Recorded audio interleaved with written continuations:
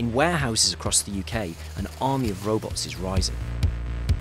Intelligent machines and automation are spreading throughout the core of the logistics industry, helping to sort and process our online purchases, select our groceries, and package manufactured food products.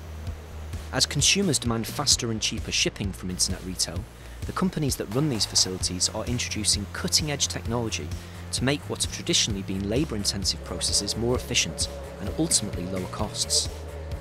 This is on show at Amazon's vast warehouses, where items bought on its website are stored and shipped to customers. The company began introducing its own mobile robots into British sites last year. These orange machines whizzing around the warehouse floor receive instructions about the locations of goods.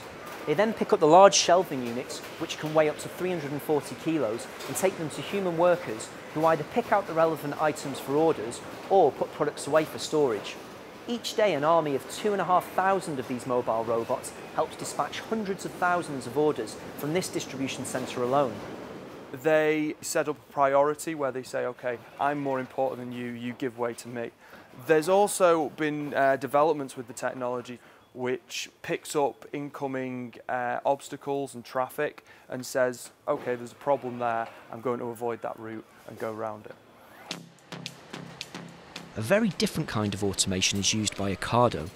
Whereas most internet food orders are handpicked by employees pushing trolleys around supermarkets after opening hours, Ocado has its own system that retrieves items for humans to bag. Ocado recently put into operation a second generation facility that works on a grid system, and the company hopes to license it to other grocers.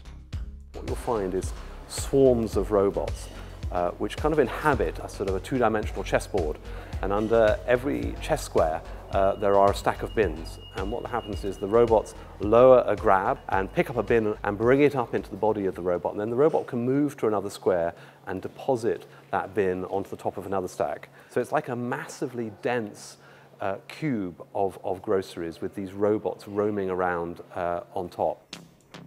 Despite the efficiencies that come with these technologies, there are fears of job losses as manual tasks are increasingly performed by machines. At the same time, e commerce is contributing to the decline of employment on the high street.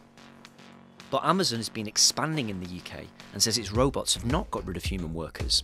It's opening four facilities in 2017 that it says will eventually create 3,500 jobs. What's more, companies say as fewer human hands are needed for menial functions, there will be scope for more rewarding technical jobs. But critics say that although the logistics industry might have created some new jobs, it's not always secure employment with decent terms and conditions.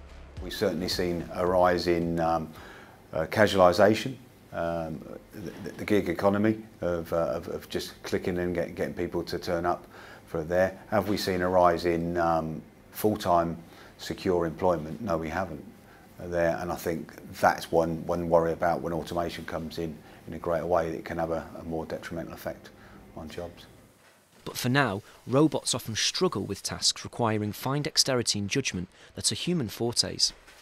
The German logistics group DHL has recently installed collaborative robots, or cobots, that work alongside humans and respond to their flesh and blood counterparts.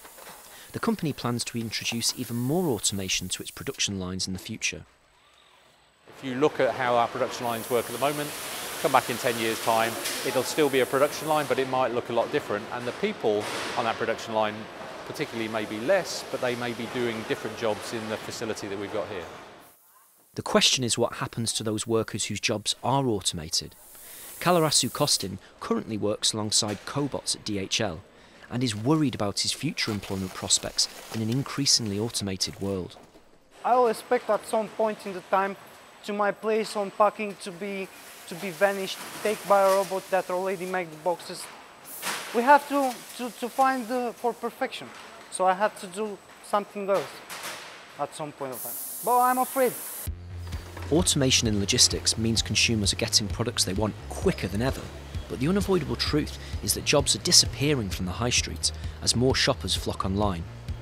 And while there may be an increase in employment in the logistics sector, there are concerns that some of these warehouse roles won't exist in the future. Michael Pooler, Financial Times.